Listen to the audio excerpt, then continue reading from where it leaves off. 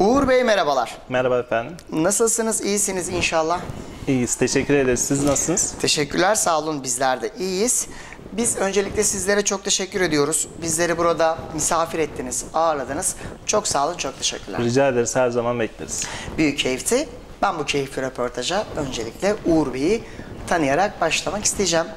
Uğur Bey kimdir? Ee, bu sektörle tanışma hikayeniz nasıl gerçekleşti? Uğur Bey e, 1986 Çankırı Yapraklı doğumlu. E, Sektöre 2016 e, Ekim ayında e, girmiş bulunmaktayım. Firma olarak e, bir yıllık e, firmayız. E, 2020 Ağustos ayında kurulduk.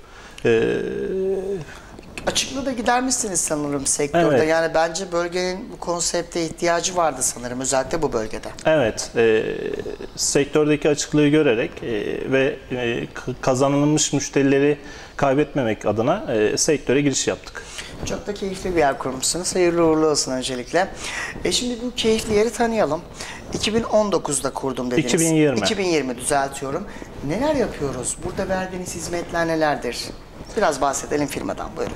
E, 2020 yılında kurulan e, Bursa Sistem e, temizlik makineleri e, Phantom, e, Safran, e, Klimvak, e, Karcher e, gibi e, firmaların e, yedek parça, tamir, bakım e, ve sıfır makineleri, ikinci el makineleri yani müşteriler bizden e, neyi talep ederse biz e, onu müşteriye sunuyoruz.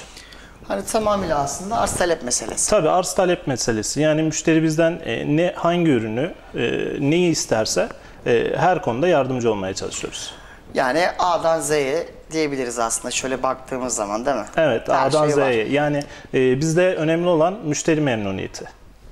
Zor bir iş. Hizmet sektöründesiniz. Hani yapılabilecek e, bir hata ciddi sonuçlar doğurabilir. Bu bir gerçek.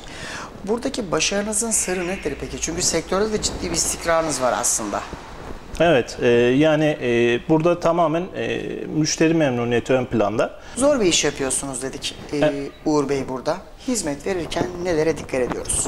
E, Türkiye'nin 81 iliyle çalışıyoruz. E, bütün e, müşterilerimize e, gerekli e, hizmeti sağlamaya çalışıyoruz her konuda.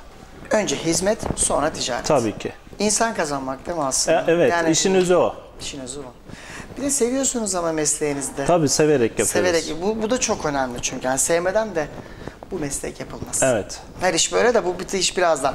Ekibiniz kaç kişilik? Ekibimiz şu an itibariyle tek kişi. Ee, Her şeyde mi siz varsınız? tabii ki her şeyde e, yönetici olarak ben varım. Her konuda bütün müşterilerimizin yanındayız. Peki son soru.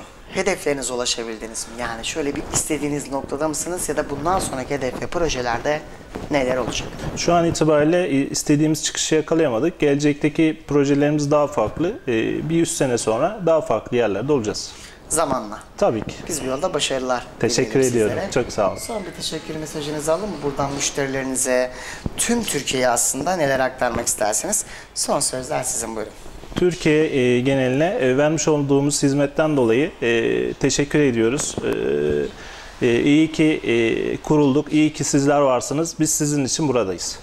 Biz de herkesi davet edelim. Buraya. Tabii ki. Evet. Her zaman bekliyoruz. Çok sağ olun. Ben vermiş olduğunuz değerli bilgilerden dolayı çok teşekkür ediyorum. Çok, çok teşekkür ediyorum sizlere. Başarılarınız daim olsun. Ben teşekkür ederim. Ayağınıza sağlık. Hoş Hoşçakalın. geldiniz. Sağ olun.